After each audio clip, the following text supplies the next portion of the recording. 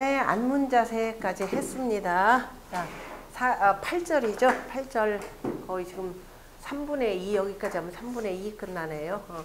안문 자세요. 개전 적성이라 그래서 전략적 요충지들을 지금 다루고 있습니다. 개전 적성 지난번에 설명은 드렸고요.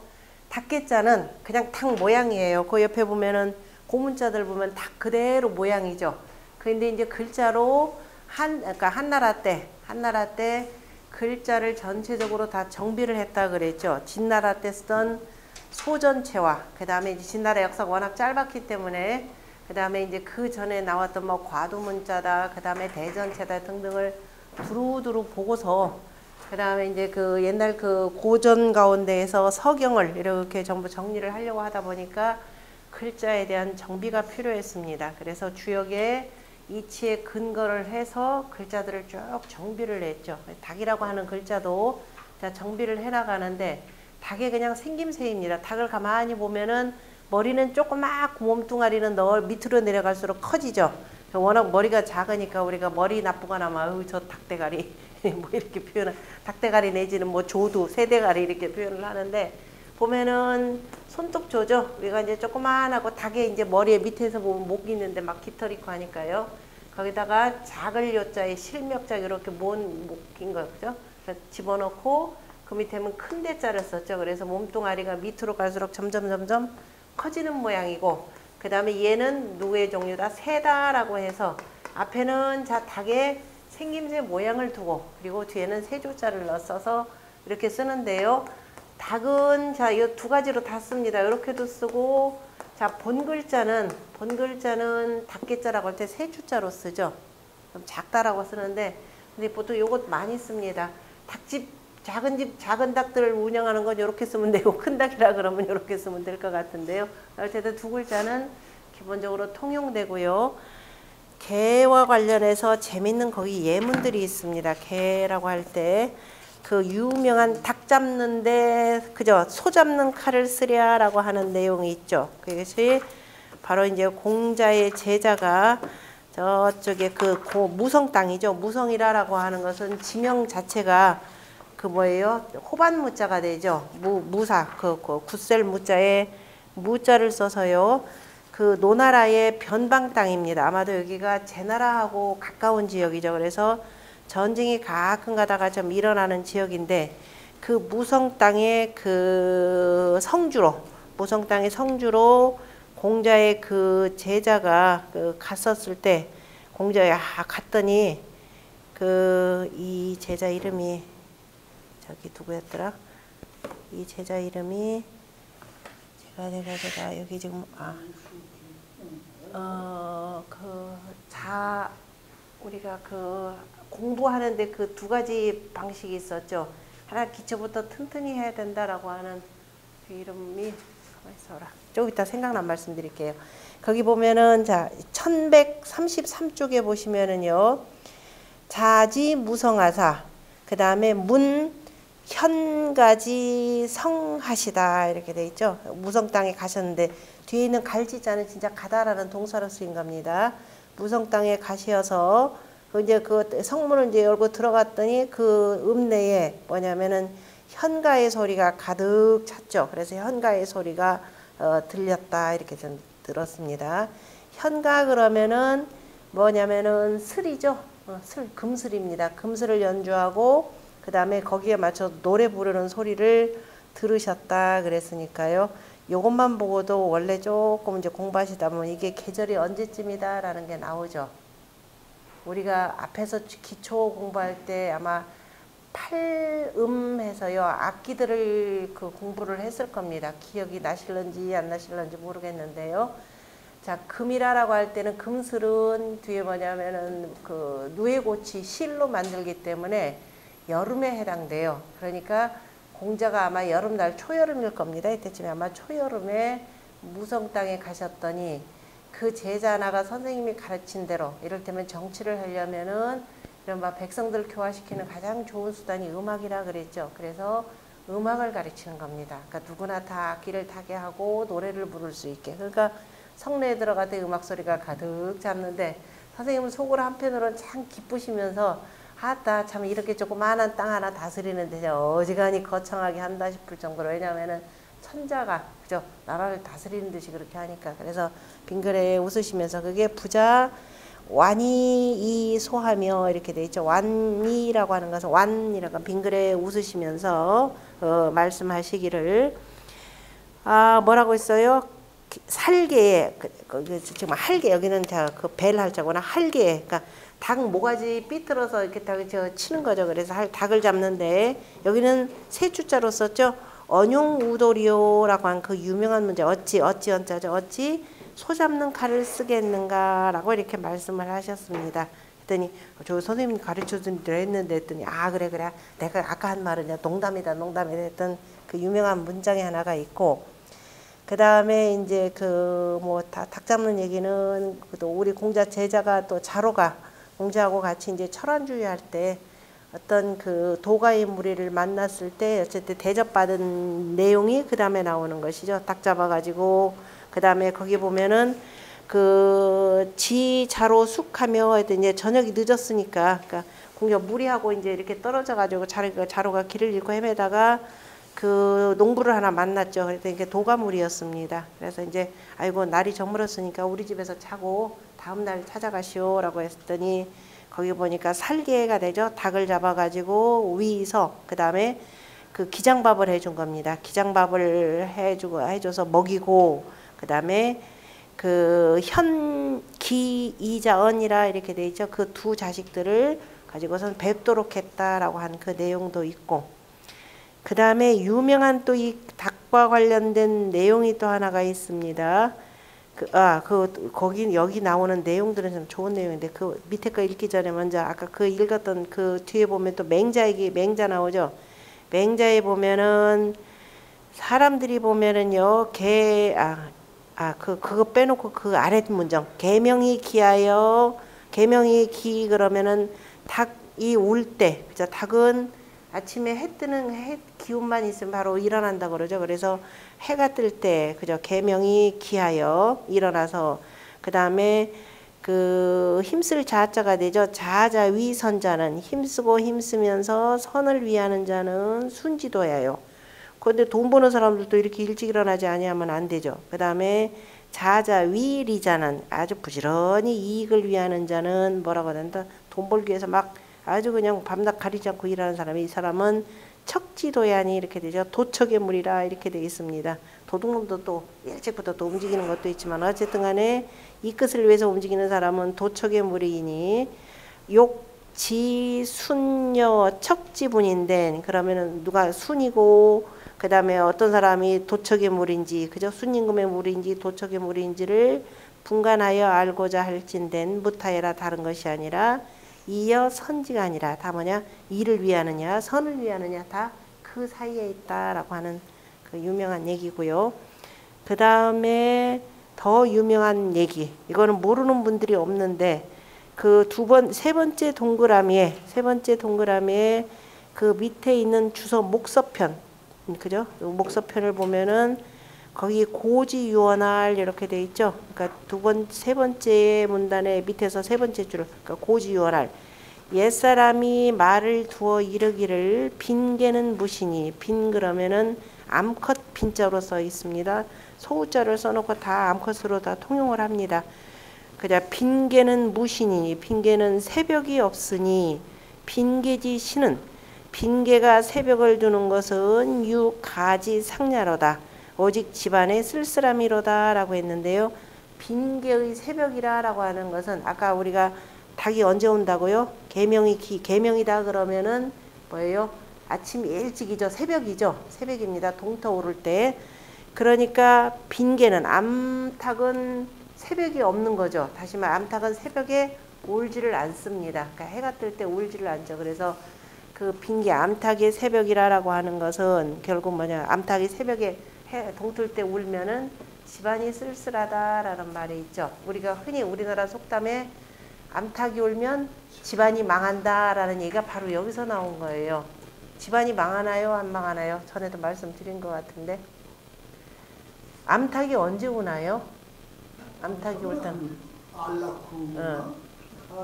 알 낳고도 울면 바로 그죠. 알 낳고 울었다 그러면 큰일 나. 지금이야 사람들이 가축으로 키워서 집안에서 키워서 문제가 없지만은 그리고 요즘에는 닭들도 이 동물들도 아까 얘기했지만 그 야성 본능을 잃고 있죠.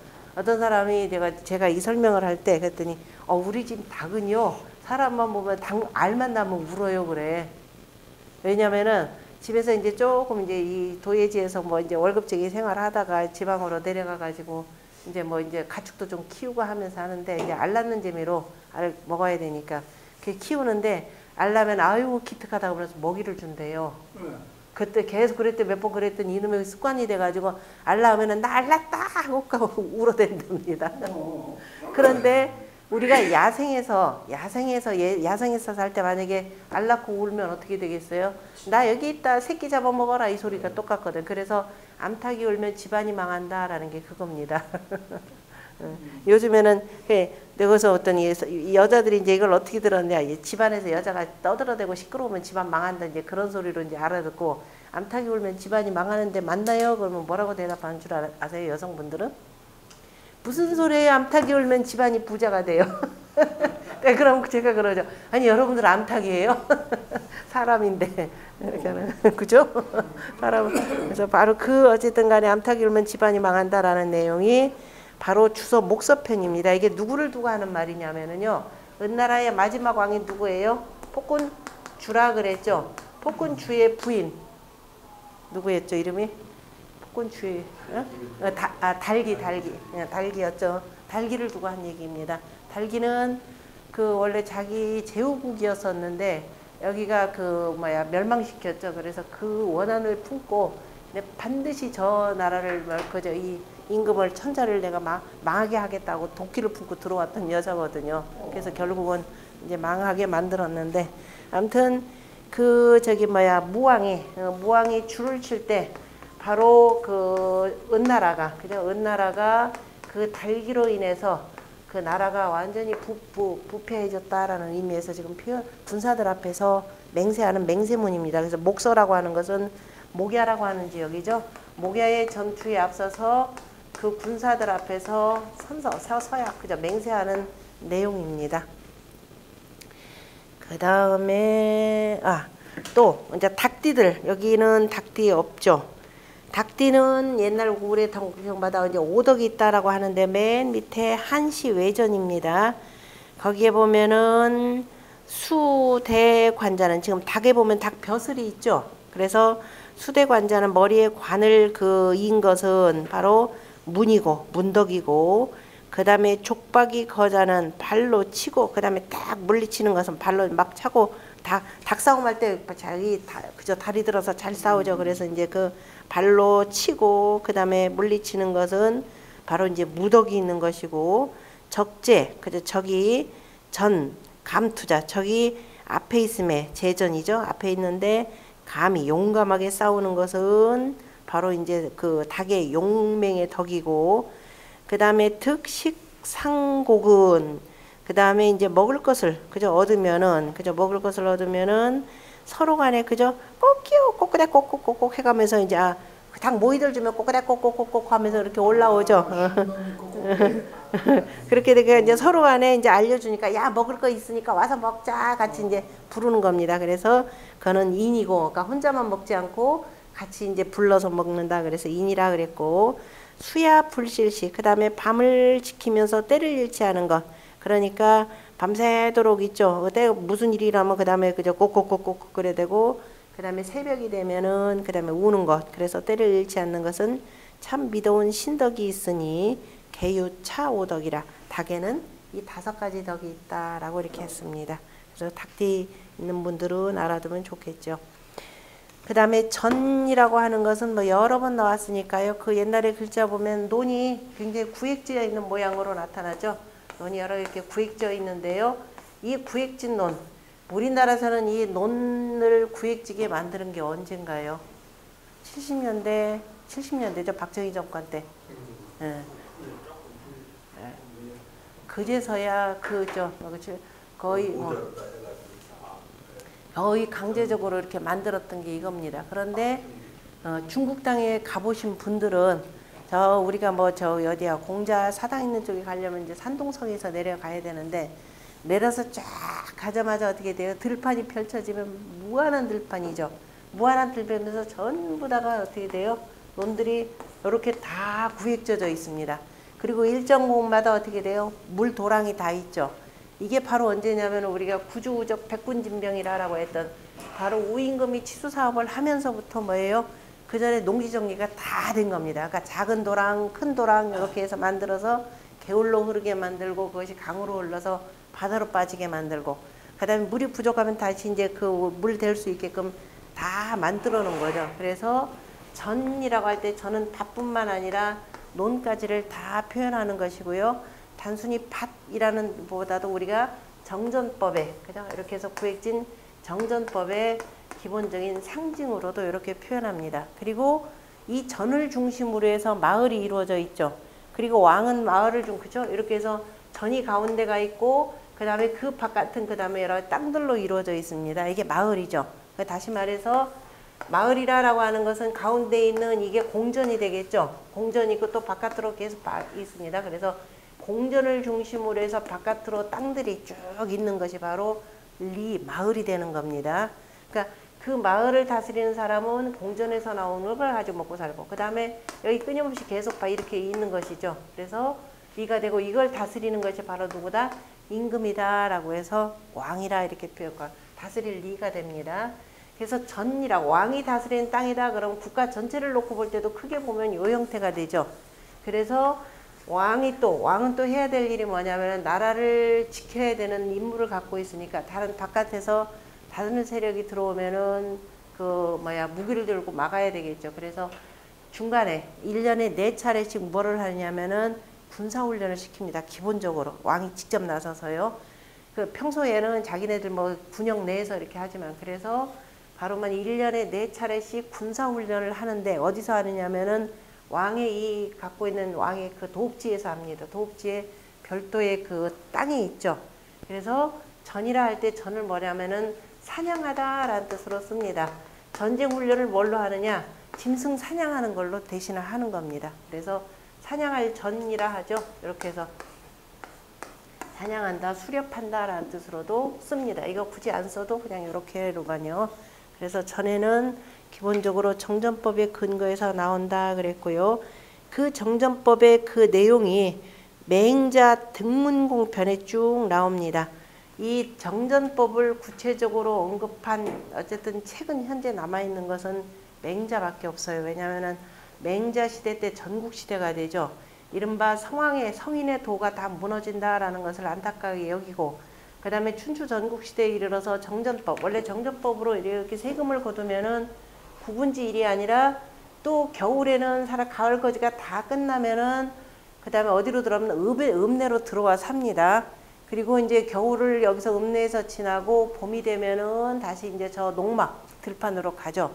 우리나라는 뭐 땅이 좁으니까 아침밥 먹고 나가서 들판에 가서 일하고 뭐 오후에 들어오면 되는데 중국 땅은 어떻게 돼요?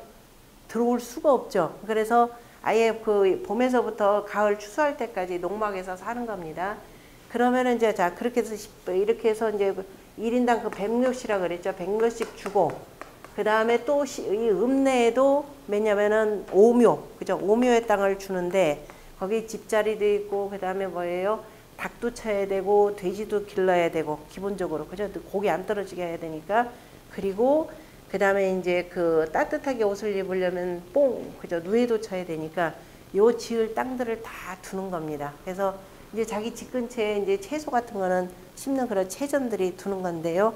그것을 표현한 것이 바로 그 맹자에 나오는 것이고 여기는 이제 다른 걸로만 좀 표현한 건데요. 거기 보면 청야에 그래서 청컨대 지금 그 등문공한테 지금 얘기해 주는 거예요. 구일이 조하고 구에서 그냥 하나를 그죠? 구의 구분의 일로 이 어, 조세 조법 조법이라라고 하는 겁니다. 그 은나라의 지금 은나라 때 지금 이 정전법이 잘 발달된 게 바로 이 은나라죠. 그래서 은나라 때는 백성들을 돕는 법이라 그래서 이 정전법을 조법이라 이렇게 표현한 거예요. 그래서 조법으로 구분제 그 일로 조법으로 두고 국중에 시비를 하여 국중에서는 나라 가운데는 10분지 1을 하여서 그러니까 이제 실질적으로 전체적으로 보면 10분지 1입니다. 그러니까 읍내자로 땅을 주니까 그래서 사 자 부하라 하여간 그저 스스로 부세하도록 하라 하면서 이제 경 이하로부터 쭉 땅 나누는 방법들이 있죠. 그러면서 그 두 번째 줄, 어, 아, 일단 보자. 그래, 경 이하는 반드시 필류 규전하니, 규전이라라고 하는 것은 바로 뭐냐면 제사를 그저 포, 그 관직에 따라서 주는 별도의 그 제사를 받들라고 주는 땅을 바로 규전이라 하고요.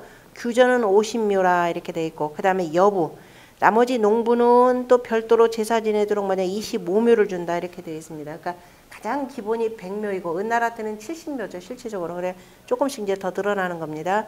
그 다음에 이제 사 사에 죽거나 이사할 때 무출양이니 그래서 이제 시골을 떠남이 없다. 왜냐하면은 다 같이 한 그 향전이 동정이 출입에 상호하며 이렇게 돼 있죠.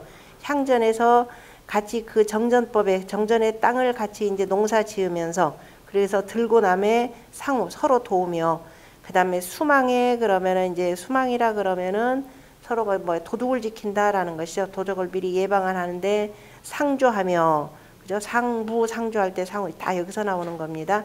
여대림이라고 하는 사람들이 여씨 형제들이 향약이라라는 걸 둔 것이 바로 뭐냐면은 예전엔 정전법이 있어서 서로 간에 이렇게 상부상조하도록 두었는데 지금은 그게 무너졌다. 그래서 그 형제들이 지금 땅이 있으니까 우리가 적어도 갖고 있는 땅만 갖고 한번 이걸 해보자. 그래서 이제 향약이라라는 것을 실시를 했던 거죠. 그 다음에 이제 질병 서로 간에 병이 나면은 상부 지하며 그래서 상부 상조라는 말 이렇게 나옵니다. 아까 상조 나오고 뒤에 상부라는 말 나오죠. 그래서 서로 간에 붙들어서 그 지탱을 해주면은 즉 백성이 친목하리라 백성들이 서로 친하여서 화목하리라 그랬죠.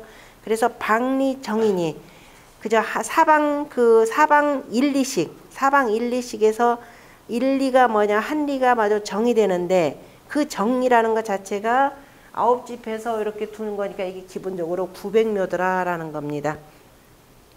그리고 그 가운데가 위 공전이라 이렇게 돼 있죠. 그리고 바깥으로 여덟 집이 팔각해 사병묘하여 팔각 여덟 집이 다 사전으로 백묘씩을 두어서 동양 공전하며 먼저 같이 공전을 먼저 그 다음에 다스리고 그 다음에 공사를 필년 후에 공사를 다 마친 뒤에 감치사사니 그리고 나서 감히 그 사전의 일들을 다스리니 이렇게 됩니다.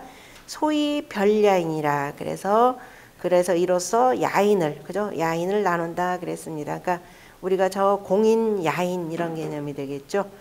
자 여기서 보면은 공사 그래서 공사를 먼저 다 한 뒤에 사사로니까 바로 이게 뭐예요?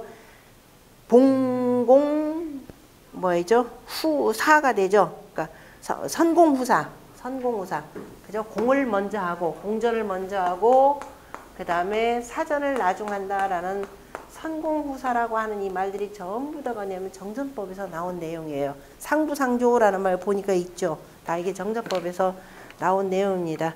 요즘엔 상부상조라는 말도 참 없어졌죠.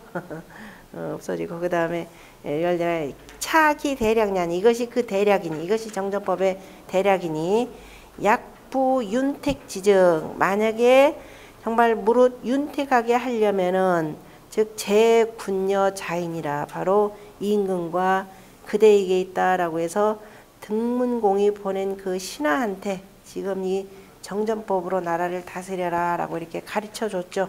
이대로 했으면 참 좋을 텐데 아, 등문공이 정전법을 실시한다 그러니까 이게 지금 언제냐면 전국 시대죠. 그랬더니 저 농가의 무리들이 와르르 하고 물러옵니다. 막 불러 와가지고서는 임금하고 야 우리 같이 농사 지으면서 나라를 다스립시다 그러죠. 임금 나라를 뭐 농사 지으면서 나라를 다스릴 시간이 어디 있나요? 농사 짓는 사람 따로 있고 임금은 지금 등나라는 제 나라하고 뭐 이런 큰 나라들 사이에 끼어 있는데 외교 관계 잘하게 그 잘해야 되는데 결혼 다 망하게 돼가지고 공부 다시 맹자를 찾아오죠. 우리 한번 살려주십시오. 그랬더니 아 당신 따를 사람 있느냐? 땅 당신 따를 백성 있느냐? 물어보죠. 없다 그랬더니 그럼 혼자 싸우다가 그냥 죽어라까지 표현하는 내용이 이 등문공평에 나옵니다. 내가 얘기할 때 죽어도 말 안 듣더니만은 그냥 혼자라도 그렇게 해서 죽든가 뭐 알아서 하시라 이렇게 했죠. 그게 지금 그 내용이 굉장히 중요한 내용입니다. 정정법과 관련되어서요. 그래서 참조하시라고 읽어드렸고 나머지는 이제 보시고 그 다음에 개전 적성이라라고 할 때 적자요. 적자는 흑토자에다가요. 밑에 있는 요 글자는 불화의 변형으로 쓰인 글자입니다. 다시 말해서 자 우리가 붓다라고 하는 것은 흑토의 불이다 그러면 땅에서 불날 일은 없죠. 어디서 불나냐면 우리가 땅도 두 가지가 있죠. 주역에서 이거 곤토라 그랬죠. 곤토 하나가 있고 그 다음에 여기 있죠. 간토죠. 간토라 그랬습니다. 땅은 땅인데 자 그래서 이거는 순음으로 돼 있으니까 곤토는 뭐라고도 표현하냐면은 음토라 하고요. 그 다음에 간토는 양이니까 같은 땅도 양지가 있고 뭐가 있어요? 양지가 있고 음지가 있죠. 그래서 이건 양토라 이렇게 표현합니다. 어, 양, 양토라 표현하고요. 그래서 저 산에 불이 나면 밑에서부터 타오르죠. 그래서 이렇게 써서 멀리서 보면 굉장히 붉게 타오르는 모습이라서 그래서 붉을적이라고 나타낸 글자입니다. 적이라고 하는 것. 정, 붉은색의 정색은 주색이죠. 주색이 되고 얘는 동남방색입니다. 색깔이다 라고 할 때 우리가 정색이다 그러면은 북쪽은 뭐예요? 현이죠. 그 다음에 동쪽은 청이 되고 어, 동쪽은 청이고 남쪽은 주색이고 북방은 안참 서방은 백이죠. 어, 그 다음에 중앙토는 누렇다라고 하는 누를 황입니다. 다 원래 어디서 나면 다 땅에서 나타나는 색깔이죠. 땅에서 나타나는데 이제 계절적으로 봄에는 파릇파릇 싹 터오는 거니까 그 다음에 이제 여름에는 굉장히 뜨거우니까 가을이 되면 모든 것이 다 탈색이 되죠. 사람 대표적으로 사람은 뭐 검은 머리나 노란 머리나 빨간 머리나 늙으면 다 어떻게 돼요?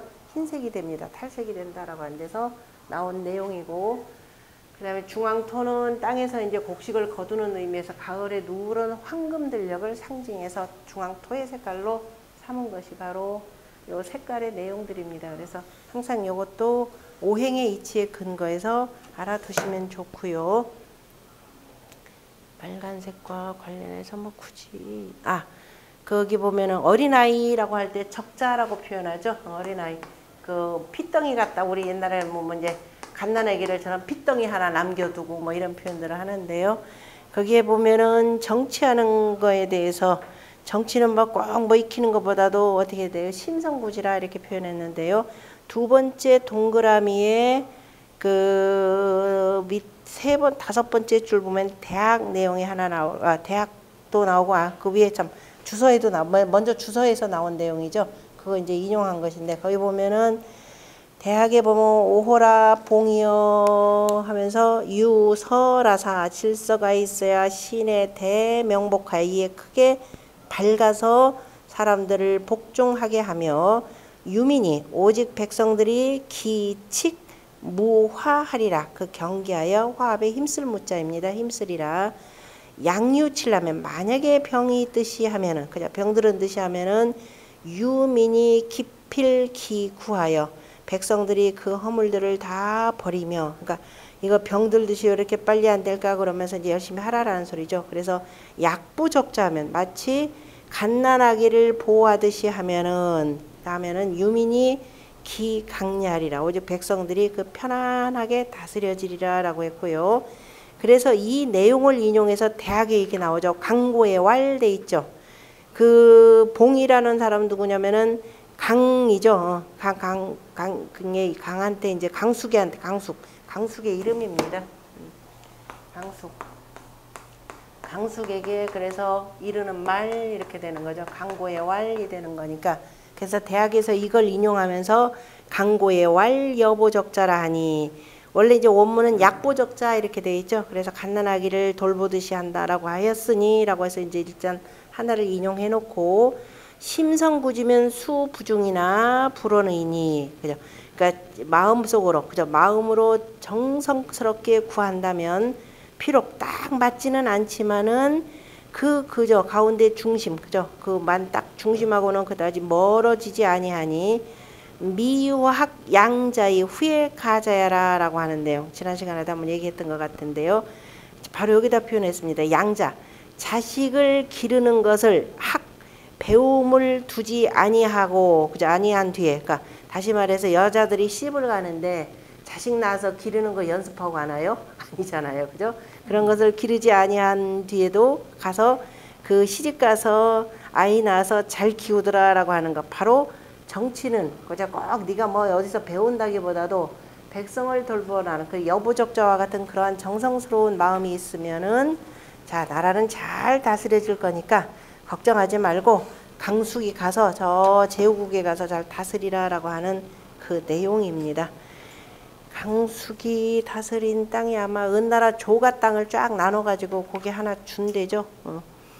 그 다음에 나머지는 읽어보시고 그 다음에 성 성자입니다. 성성인데 제가 거기 보니까 내용들이 좀 빠져 있는데 뭐 설명하면서 그 주 내용 속에도 다 있고 하니까요. 정리만 하시면 됩니다. 성이라고 할 때 성은 뭐죠? 성 흙으로 이루어졌다라는 이룰성자죠. 흙으로 이루어졌다라고 하는 것은 우리가 성 그러면은 뭐라고 표현하면 뒤에다 하나 더 붙는 게 있습니다. 성곽이 있죠. 성곽을 자 요렇게도 쓰고 그 다음에 이 곽자를 원래는 자 정확하게는 곽자는 이거는 이제 그 약자로 쓴 것이 되고 정확하게는 지 몸자 형태로 해서 밑에다 두고 두 개 다 통용됩니다. 이게 곽이에요. 그럼 성곽이 있고 그러면 성은 뭐냐면은 내성이죠. 우리 이거 뭐라 그래요? 외곽에 가면이라는 말 쓰죠. 그래서 외곽입니다. 외성입니다. 그러니까 하나 이제 우리가 성이라 말은 요거 다 포함을 시키는데 내성과 외곽 요두 가지로 나눠져 있죠. 그리고 성을 파는 데는 자 흙으로 만들어 근데 그 많은 흙은 어디서 구하나요?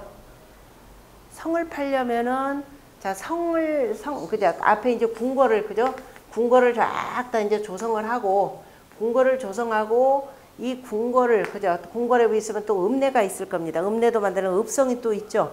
어, 뭐 궁궐도 있고 어쨌든 읍내 도읍지를 만들고 도읍지 바깥으로 뭐냐면은 여기 침입을 하지 말라고 성을 쌓죠. 성을 쌓습니다. 그래 침입하자고 방호의 목적으로 해서 성을 이렇게 쌓는데 어떻게 해야 돼요? 이 성곽 넘지 못하게 만들어야 되죠. 그 굉장히 높아야 됩니다. 그러니까 높이뛰기 선수가 절대로 뛰어넘지 못할 정도로 해야 되고 그 다음에 사다리 타고도 웬만하면 올라오지 못하도록 만들어야 되고요. 더욱더 중요한 것은 자 말도 그래서 주변에다 뭐를 하냐면은 둥글게 해서 뭐야 호를 파죠. 참호를 팝니다. 참호의 이 높이가 넓이가 얼만큼 되느냐면은 얼만큼 돼야 되겠어요? 아주 그 네, 말이 아주 잘 달리는 말이 절대로 뛰어넘지 못하도록 그죠? 그 정도 거리를 만듭니다. 그러면 그게 몇 미터 되겠죠? 그렇게 되고 깊이는 어, 빠져서 못 나올 정도로 돼. 왜냐면 말 탄 사람이 그냥 말까지 말하고 사람 키까지 해서 말 이렇게 해서 깊이 파는 거예요. 그래서 여기서 나오는 흙을 가지고 여기 담을 쌓는 겁니다. 왜냐면 돌 그리고 이제 담을 쌓는데 양쪽으로는 돌멩이를 이렇게 둬야 되겠죠. 돌멩이를 하면서 이 속에다 흙을 계속 파 넣어 두는 겁니다. 그래서 지금 남아있는 당나라 때의 성곽, 낙양성에 어마무시한 성벽이죠. 그 맨 위에 보면은 그 몇 차선 정도 돼요. 그 성곽 한번 삥 돌려면은 워낙 힘들으니까 별도로 자전거 이제 빌려주는 데가 있을 정도로 이렇게 큽니다. 그래서 이렇게 판, 요 홀을 뭐라고도 표현하냐면은 참이라라고도 표현하고요. 참, 저 뒤에 아마 나올 겁니다. 참이 되고, 자, 이제 참인데 두 가지가 있죠. 여기는 해, 이거를 참이라고도 하고 보통 또 뭐라고 하냐면 해자라고 표현합니다. 어, 해자는 쉽죠. 글자. 해자는 주요 괴상으로는 뭔가요?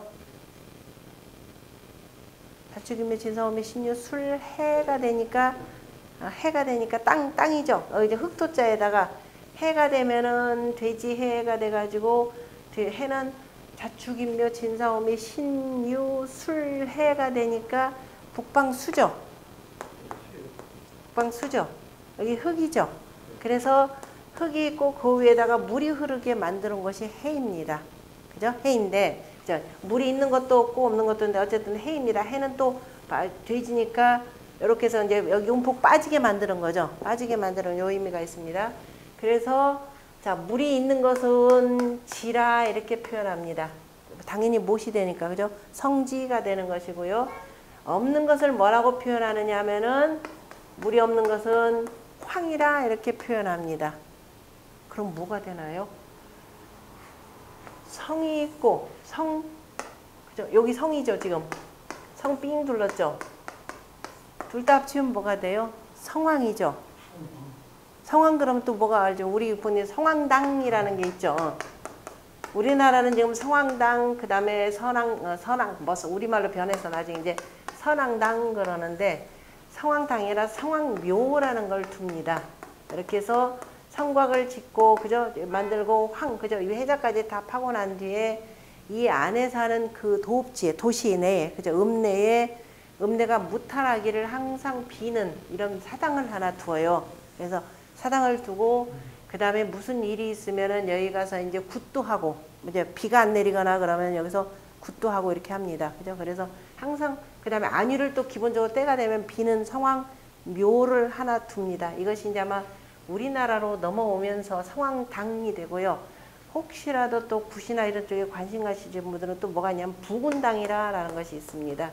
부 그러면은 성황에 별도로 붙어 있는 여기 그죠? 해자. 어, 해자에 그죠? 해자를 그 기리는 그죠? 그래서 부군당이라고 해서 여기서도 이제 굿하는 것인데 어쨌든 성황당의 전설은 원래가 여기서 나왔고 우리나라 같은 경우는 아마도 조선시대는 아니니까 그 고려나 이쪽이 망하면서 고려 때 같은 경우도 두었겠죠. 나라 제, 제법 저 북쪽으로 해서 그 좀 크니까 그래서 아마도 고구려나 신라나 아니면 이쪽에 아마 나라가 망하고 난 뒤에 성황당 자체도 성황묘가 되겠죠. 이것도 다 무너졌겠죠. 무너지면서 아마 사람들이 보면은 우리 보면은 뭐 선왕당 해가면서 돌멩이 주워다가 쌓잖아요. 그죠? 아마도 무너진 그 왕국을 생각을 하면서 아 이렇게 무너짐이 없어야 되겠다 하면서 스스로가 아마 다지는 마음으로 그런 뭐 선왕당 돌 같은 게 이렇게 돌담 쌓는 게 예, 예 고객길인데 우리 음 아마 와 우리나라는 기본적으로 저기죠. 그 산성 개념이니까 산성 쪽에서 이렇게 두는 거니까. 은나라 같은 경우가 대표적으로 산성 개념입니다. 산에다 도읍지를 이렇게 건설을 하죠. 그러니까 훨씬 저기 뭐야 그 이 성곽 쌓기가 쉽죠. 당나라 같은 경우는 아주 굉장히 중국 같은 경우는 아주 평평한 땅에다 쌓아야 되니까 양쪽 높이가 이런 식으로 양쪽으로 쌓아야 되니까 굉장히 힘들죠. 근데 은나라 때 같은 경우는 반경 저 석경에 보면은 아 이렇게 하니까 백성들 힘이 너무 많이 되니까 이렇게 하지 말라. 그래서 산 쪽으로 갑니다. 산 쪽으로 가면 여기다 두고 산이 이렇게 있으니까 여기 덧붙여가지고 조금만 이렇게 올리면 훨씬 편하죠. 그래서 산성 개념이 발달하는 것은 바로 이제 동이족이라고 하는 겁니다. 그래서 곽성 성 그러면 이제 곽까지 같이 알아두시고요. 거기 보면은 주역 지천 택괴도 이게 나옵니다. 지금 주역 지천 택괴 보면 뭐라고 하냐면 상육효 지천 태 보세요.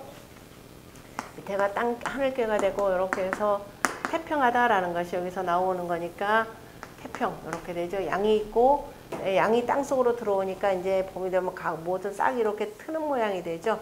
이렇게 하려면 싹이, 싹이 틀려면 그래서 물이 필요하다 그래서 태라고 표현하는데 여기 상륙효에 그러니까 제일 꼭대기에 흙으로 쌓은 그 위에 보면 뭐라고 되어 있느냐면은 그 성복 그죠? 성복 우황이라 이렇게 됩니다.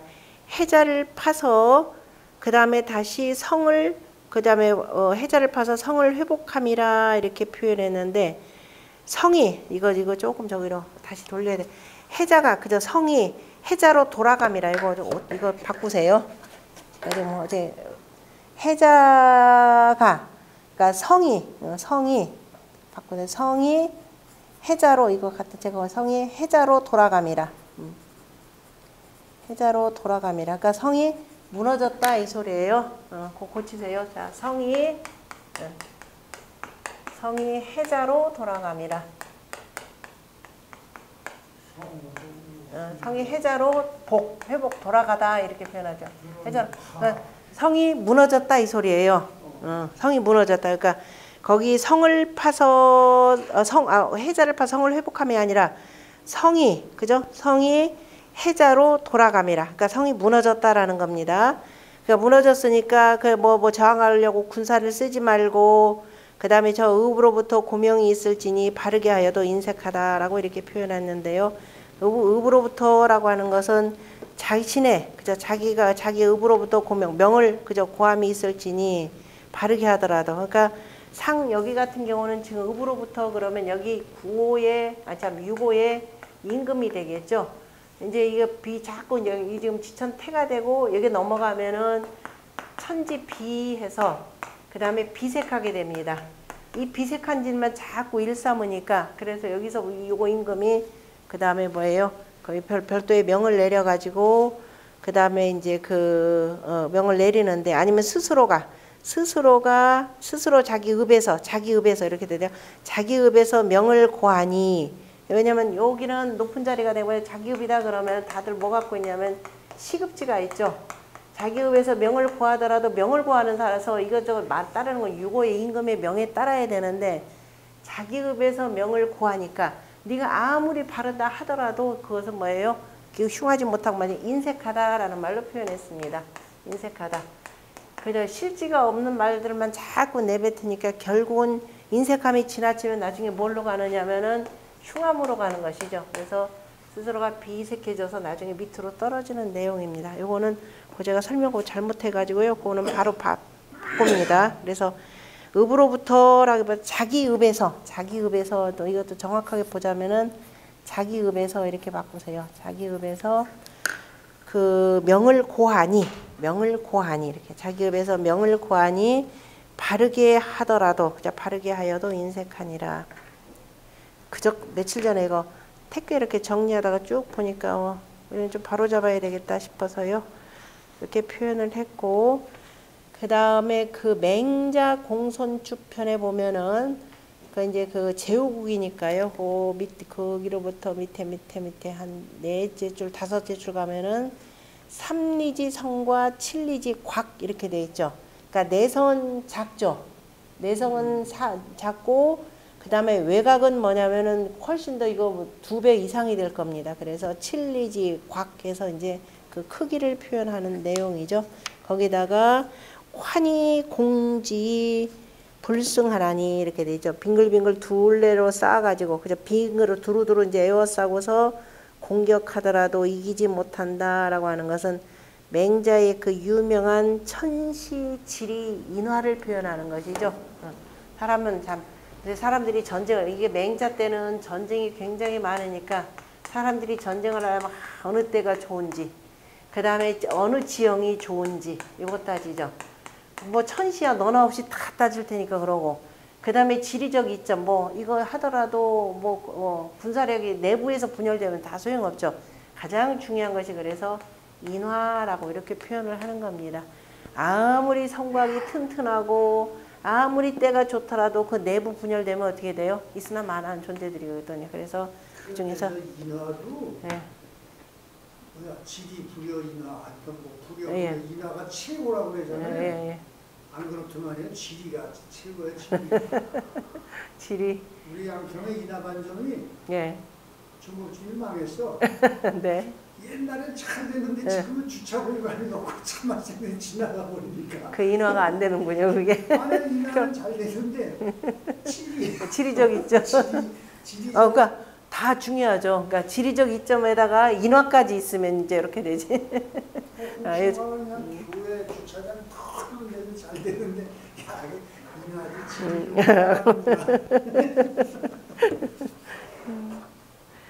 자, 그 다음에 중요한 얘기네요. 나머지는 보시고 그 다음에 곤 아.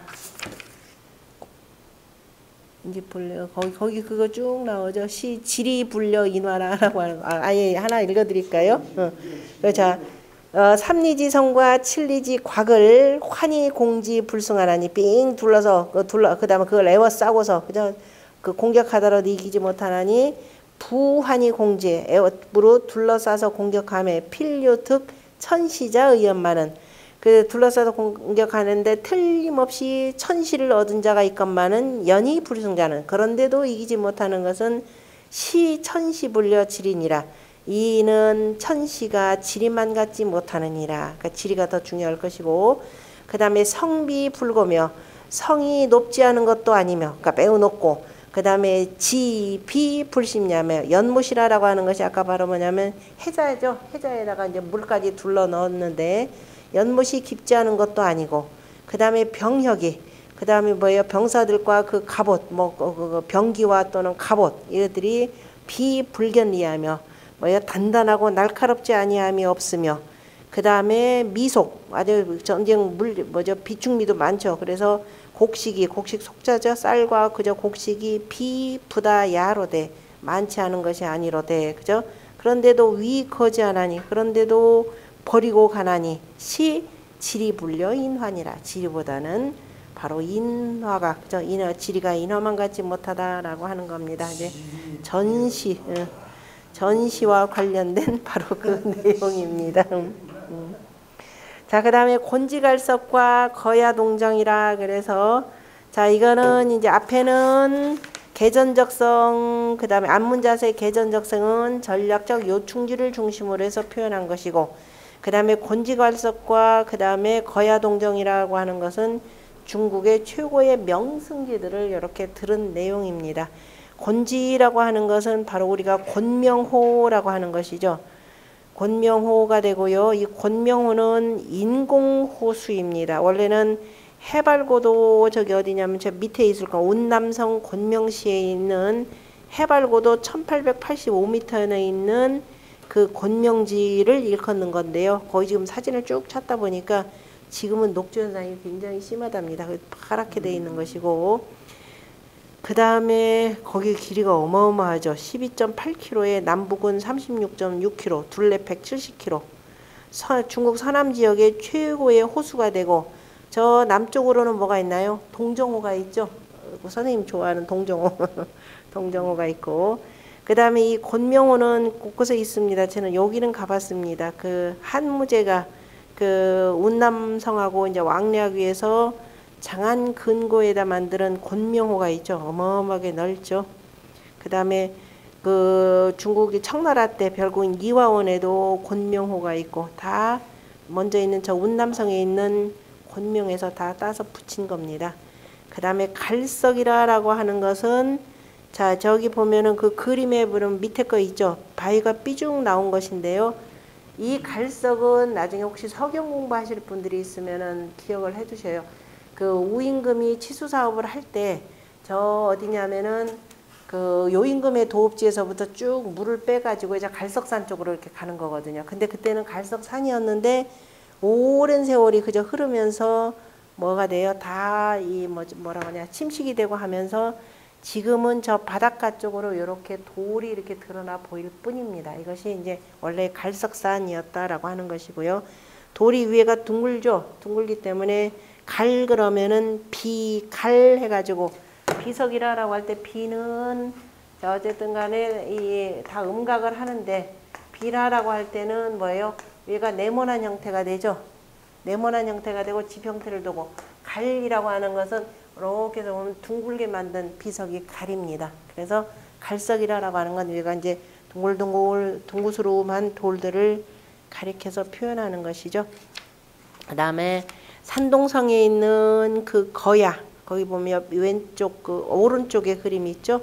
산동성 그 그다음 페이지에 있는 그 오른쪽에 있는 거야현의 곤 아니 습지공원 해가지고 어쨌든 산동성에 있는 것이고요. 그 다음에 동정호는 워낙 뭐 유명하니까 제가 여기다 장강에서 여기 지금 거기 있나? 어, 동정호는 중국 최고의 호수가 되고 여기에서 뭐가 많이 나오나요? 저거 저거 저거 그 무슨 족이지? 진주 족에 최- 진주 최고의 산지가 거의 70% 중국에서 나온 진주 70%가 이 동정호에서 나온다 그럽니다. 어마어마한 동정호인데요. 어, 예, 잠시 쉬었다가 그다음 파자하도록